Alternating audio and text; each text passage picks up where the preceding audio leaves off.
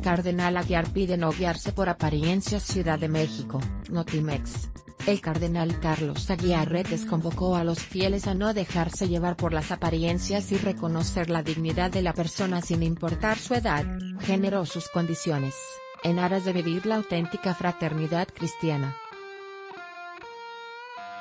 Durante la homilía dominical en la Basílica de Guadalupe, pidió aprender a abrir nuestra mirada y corazón cuando buscamos a los demás, no simplemente su apariencia, porque podremos vivir la auténtica hermandad, solidaridad y fraternidad, que conducen al amor del prójimo. La fraternidad no se da espontáneamente, añadió el también arzobispo primado de México, quien durante la homilía elevó una oración por la paz y unidad de la Iglesia y del mundo, por la salud de los enfermos, además, porque se aleje el hambre de la sociedad.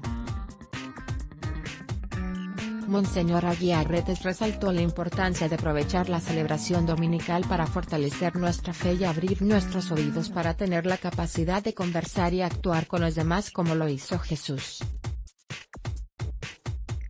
En la oración de los fieles pidió orar por la Santa Iglesia de Dios, para que el Señor le conceda la paz y la unidad, la guarde de todo mal y acreciente el número de sus hijos. Por la paz del mundo para que cesen las rivalidades entre las naciones, renazca en el corazón de los hombres el amor entre todos los pueblos y la mutua comprensión.